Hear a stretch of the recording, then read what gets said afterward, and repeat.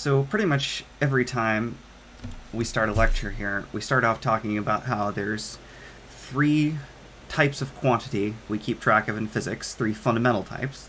There's length slash space, there's mass, and there's time. And I was saying how like for the most part, you know, length, distance, space is the simplest one. But there's another way in which it's really not the simplest, right? Because time is just time. We're not going to be dealing with relativity in this series. And even when you do deal with relativity, there's still just one dimension of time. And also, mass is a kind of a complicated concept, but there's just the mass. There's no such thing as one type of mass versus another type of mass. Versus with space, well, there's more than one direction of space, right? There's, you know, left to right, up to down, and forwards and backwards. And of course, none of those directions is special, but no matter where you are or which direction you pick, you can always pick two other directions that are perpendicular to it, right? You know, you don't have to do like, you know, this way plus this way and this way, right? You know, you could do, you know, this diagonal as well as this diagonal and just make them perpendicular to each other. And you could even make this diagonal and this diagonal and then make the third one perpendicular uh, over some other axis. And no matter which way you look, there are three dimensions of space, right? And we're now going to at least discuss how to do things in two dimensions, and extending things into three dimensions is not much more difficult, and we'll introduce that gradually. But today we're going to go through the techniques for analyzing things in two dimensions. Right, because recall I mentioned last time that we're going to start thinking a little bit about vectors. Right, because they're, you know, when you have a distance, you need to also specify, you know, a distance in which direction, right? So if you have 10 meters, it could be 10 meters straight up, it could be 10 meters to the right, um, you know, or it could be 10 meters at an angle of 30 degrees off the horizontal, or 10 meters at an angle of 45 degrees off the horizontal, uh, you know. And all you need to do is just remember your trigonometry, right? a squared plus b squared equals c squared, and angle is equal to the arctangent of opposite over adjacent, and then you can also remember that uh, if you have uh, the hypotenuse, aka the, the magnitude of one of these vectors, uh, then you can get the components by using sine and cosine. And, well, previously we've been thinking about this one-dimensional example of something just falling, right? And we were analyzing that using what we call the kinematics equations. So, yeah, pull those up here. So we developed this this set of equations that describes an object with a constant acceleration. And a constant acceleration includes the possibility of constant and equal to zero, in which case something just moves in a straight line, right? And so previously we analyzed two sets of data, one showing an object falling at a uniform acceleration, just like taking this tennis ball and dropping it, or also if I throw it up in the air and let it come back down in a straight line. That's also a uniform acceleration. It's just a uniform acceleration where it starts out going up, accelerates further and further down until it stops, or you know, it receives a negative acceleration with positive velocity until the velocity is zero, and then it continues to receive a negative acceleration. It's always constant and negative, and then eventually it starts going back down. Uh, but we also analyzed a situation where it just has a constant velocity, right? Um, you know, where you know I was just driving at approximately constant 40 miles an hour in a straight line. And so we're now going to sort of go through the simplest exercise you could of just combining those two things. Which, incidentally, this is uh, now beginning to uh, tie back because I always want to tie back to Zeno's paradox and this notion of uh, are space and time continuous or discrete? And one reason that we are pretty confident that space is continuous and not discrete is that uh, if, it, if, it, if there was something like a pixels for the universe, right? If it was like this graph paper where you can see individual squares, uh, then space would not be what we call isotropic, right? If there was unique, you know, like there's a direction that the that these lines run along, right? Um, and so if I tilt it 45 degrees, then the, the lines, you know, are still perpendicular to each other, but they're in unique directions. And remember, I was saying that, uh, you know, as far as we can tell, with every experiment we've ever done, and also every just basic intuitive experience people have ever had. Um, you know, there's no special direction in the universe. There's up and down relative to the surface of the Earth, but up down, um, you know, here is the opposite of up down on the other side of the Earth, uh, which I guess is in the middle of the Indian Ocean because I live in the west coast of the United States. Uh, and if if there were some sort of pixel size of the universe, then there would have to be a you know vertical and horizontal axis where the pixels are arrayed, and we would be able to find those axis lines. So it could still be that there's some discrete discreteness to space if you look small enough, but it would have to be something very strange where it's not just in a nice orderly grid like that. Uh, otherwise, we would be able to you know we wouldn't necessarily be able to see the individual uh, spacing, but we would be able to tell uh, when we were looking perfectly along uh, grid line versus you know some angle to it, and we don't see that. So now, what about combining those motions? Well, if I combine you know something moving up and down, but with force of gravity, the tennis ball with just moving along horizontally at a constant speed, well, what do I get? That, you know. Very straightforwardly. It's kind of unremarkable in a lot of ways, but we want to analyze it properly so we can start doing more interesting things. Because, you know, the real world exists in three dimensions, and we're going to be still analyzing the trajectories in two and three dimensions of things that we just consider to be point-like objects, even though they actually have some size to them, but we still just treat them like one thing that has one position, right? But you could always think, you know, do you want the left side of the tennis ball, the right side, the top, the bottom, the front, the back, you know, or do you want the just the center, which is basically what we're thinking about is, you know, just imagine the entire tennis ball was just one little tiny thing that existed only at the exact center instead of uh, having some extent to it. Uh, because eventually we are going to want to start thinking, right, about, you know, um, like, well, areas, right? You know, because you know you combine. I guess this this paper has markings all over it, but you know you combine, um, you know, two dimensions of space, and you instead of a distance you get an area. You combine three dimensions of space, you get a volume, and we're eventually going to want to think about those things too. But for now, let's just think about some one one object moving in two dimensions, right? So, like I said, we can consider an object moving in a straight line at a constant speed. So this is the, or it's not actually moving in a straight line in, anymore, sorry. But we can consider an object moving at a constant velocity in the x-axis, right? So horizontally, just moving at a constant speed. And that the x as a function of eh, horizontal position as a function of time just looks like a straight line, uh, versus y as a function of time, just like when I throw it straight up and down, it looks, you know, like this parabola. Uh, and if we can combine those two things together, we have x as a function of time and y as a function of time. We can get y as a function of x. Uh, and then we can label each position time. Uh, and it still has, the, the graph still has the same shape. It's just, you know, sort of a little bit, you know, the aspect ratio is different. It's a little bit steeper, but it's still just a parabola, right? Because if, you know, x is just linearly proportional with time, then you can just kind of think of, you know, x, y as a function of x as just a, you know, squished versus, or squished or stretched, uh, squeezed or stretched, sorry, uh, parabola along its, the horizontal graph axis. Uh, so, as usual, I have some data uh, that uh, we're going to analyze where I just throw a tennis ball like this and we use the fancy schmancy computer vision software to track it again although also going to be, as usual, going over how to do it by hand. Yep, that's me. Or more accurately, my hand.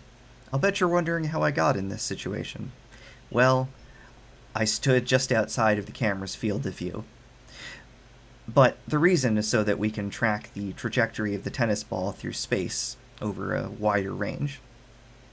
And so to do that, we're going to use our old friend, the Open Computer Vision Library, which is available for Python and C++. And you don't need to know how to use it. As usual, I'll be using it to add some augmentations to the video so that you can analyze things by hand. And first off, let's just see what the trajectory of the tennis ball looks like.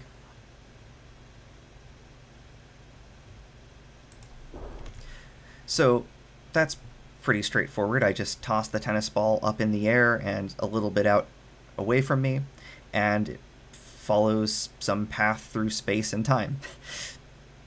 so now let's use OpenCV to look at the trajectory, and what we're basically going to look at is the blue line you'll see is a history of where the tennis ball has been, at least according to the object tracker in OpenCV and that's essentially showing us y as a function of x, right? It's showing us the trajectory through space, and since the vertical on the frame is y and the horizontal is x, that's y as a function of x.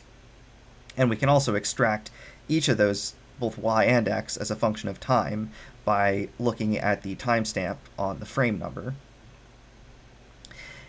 And so here we go.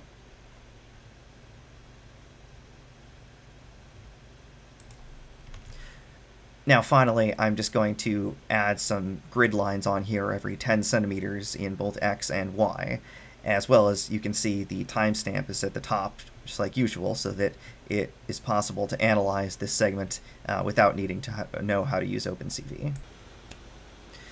Okay, so now here we are looking at individual frames again, and this is what we're defining as time equal to zero. Because remember, we always just define some starting point in time. Everything before that is negative time, which is just the time before the arbitrary start. And then we measure time after that start point. So this is t equals to zero, which is just uh, like I think one or maybe two frames after the tennis ball has left my hand. And so now let's look at the trajectory as a function of time. And after a couple of frames, it starts that tracking where it well, it starts tracking immediately, but after a couple of frames, it starts drawing the history of where the tennis ball has been. And as we go every 50 milliseconds, and start to see that shape of a parabola forming. And, well, we can also look at the timestamps and get an explicit curve like this, showing us y is a function of time and x is a function of time. And like usual, we can ask the computer to give us an equation that best fits this data. And you can do this by hand without too much difficulty. And for the uh, x component, because it's just a straight line, doing it for y is more challenging. And you could do one of two things. You could either just trust the computer, and understanding how it does it is not terribly complicated. I think I might do yet another little lecture in the data tutorial series where I actually explain how the computer finds these fits. Because again, it's a really, really useful skill to have um, if you want to be any sort of scientist, engineer, um, and if you want to go into anything like data science or machine learning, that's absolutely critical. That's their, their bread and butter, uh, knowing how to take some data and uh, fit some mathematical model to it. And so, but anyways, the computer gives us a model for this, which is that the uh, acceleration is uh, 9.2, so one half of that, one half, because it's one half at squared, is 4.6 times time squared plus 3.5 times time, which is our uh, initial velocity, the y component, the vertical component of our initial velocity. And then we also just have some non-zero starting height because uh, here we're you know, positive is up, negative is down, but we're defining zero as the uh, top of this measuring tape where the rafter is in the living room here. And so then we have to add uh, negative 1.5 meters because it starts 1.5 meters from the top.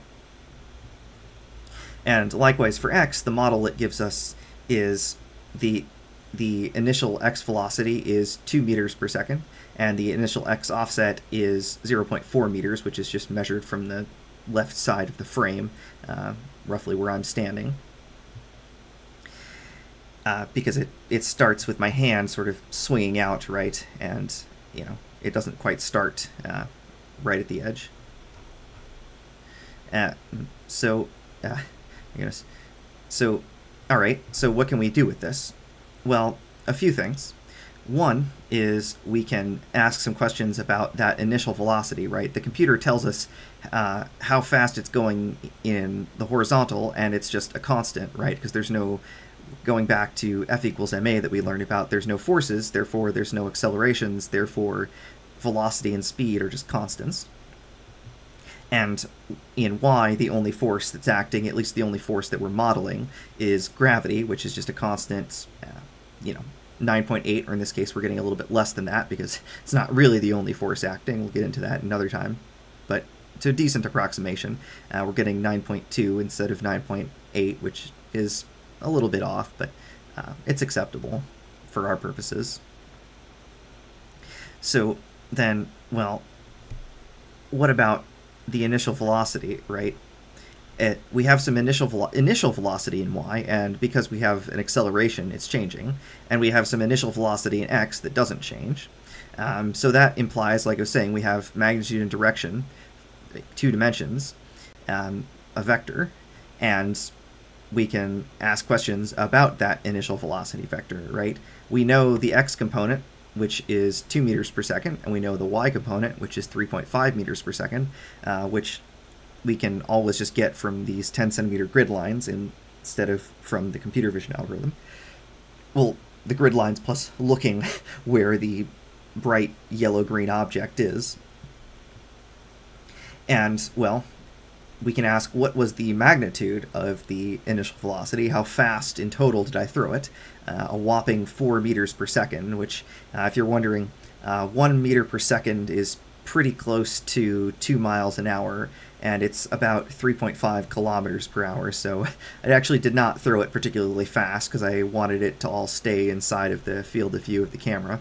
Uh, and I we can also ask what angle I threw it at. Uh, so I threw it up at uh, 60 degrees relative to the horizontal, right? Because the arctangent of 3.5 over 2 is 60 degrees. All right, that's pretty nifty.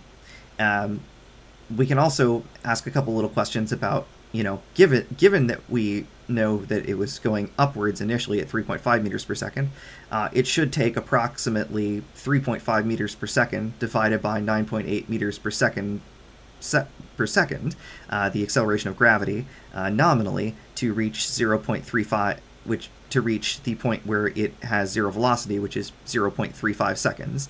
Uh, and that actually lines up pretty well with our data. So this is based on the assumption of uh, gravity as the given value of 9.8 instead of what we actually uh, determined from fitting our data.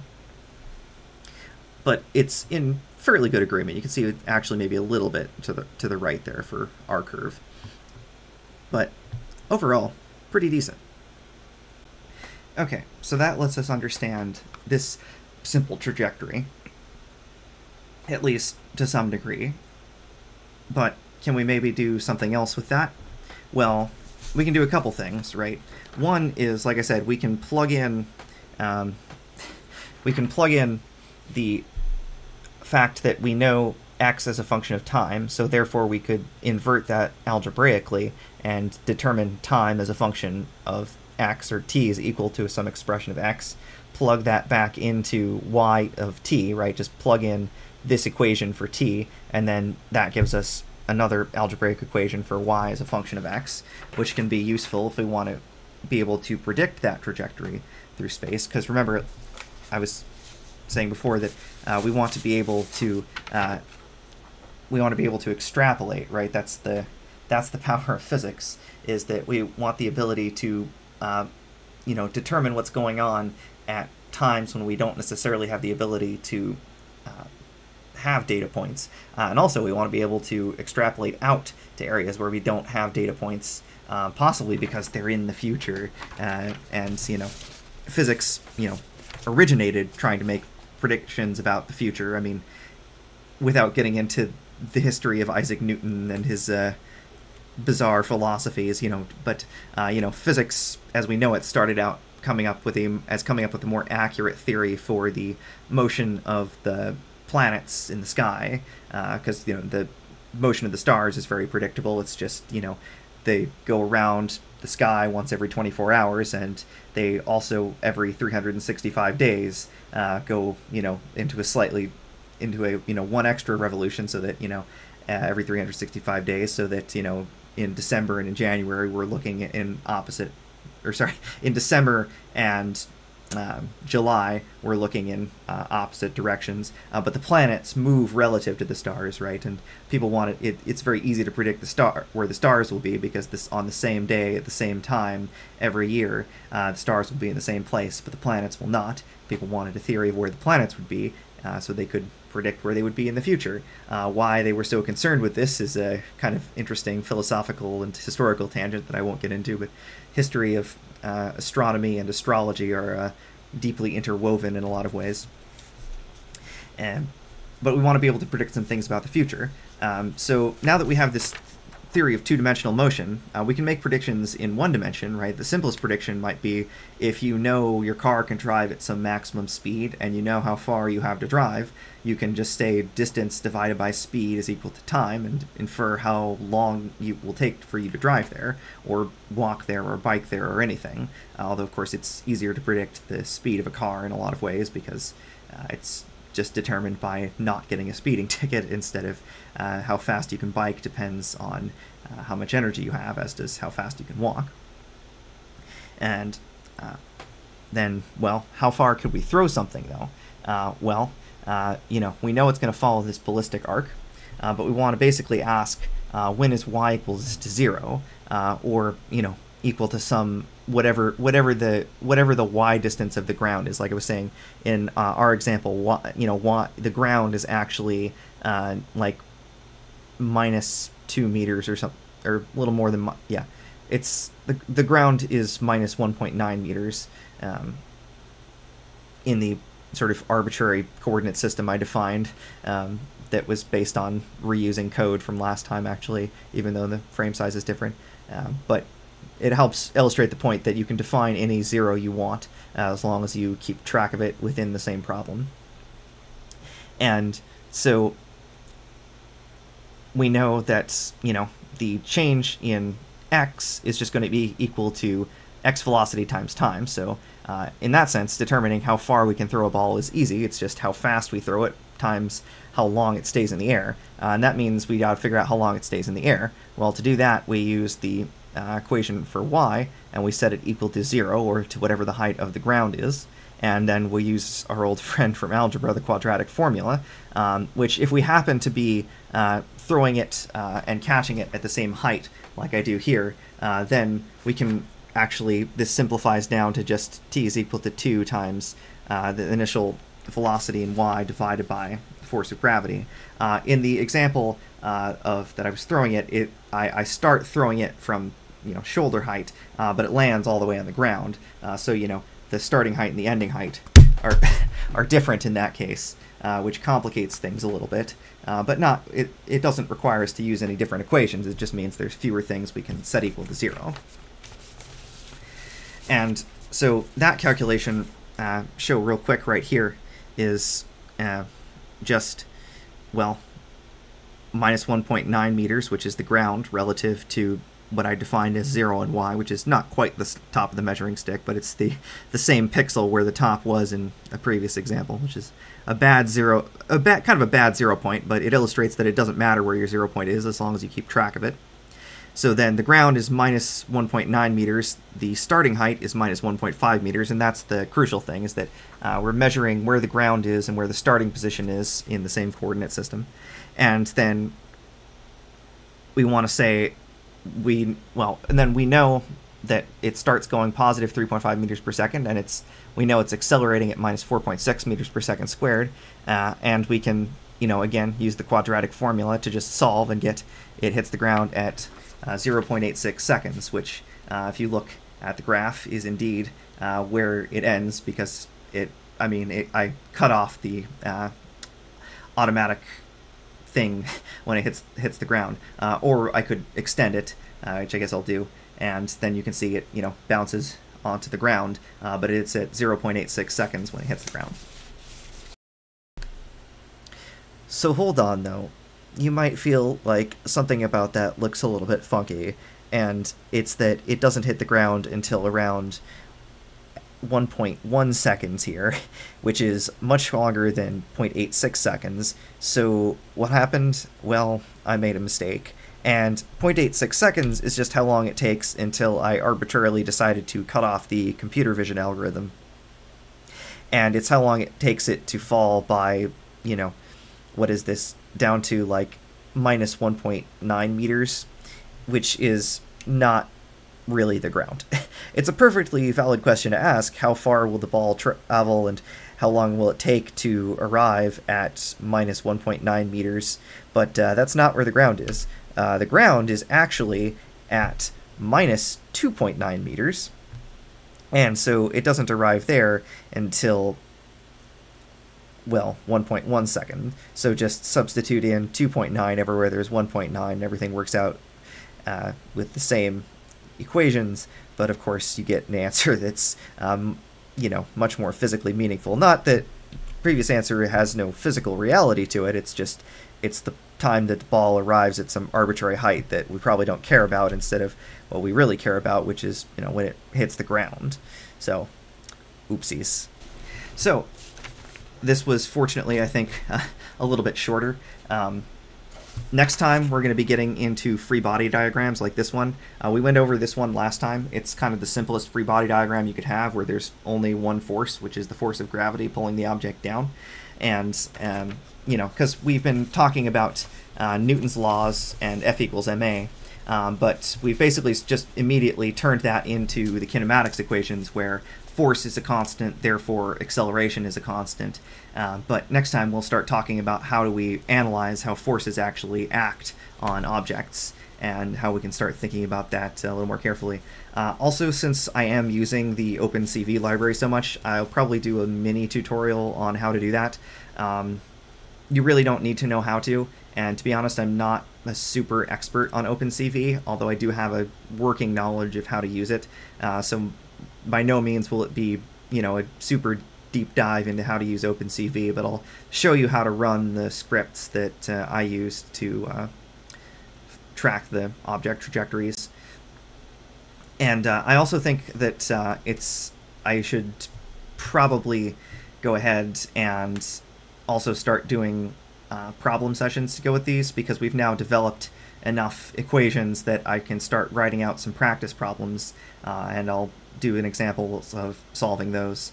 So uh, I'll hopefully get around to that next week. But uh, schedule for this is fairly sporadic, which is mostly fine because, well, uh, you know, this is a supplement to any other sort of materials you might be using.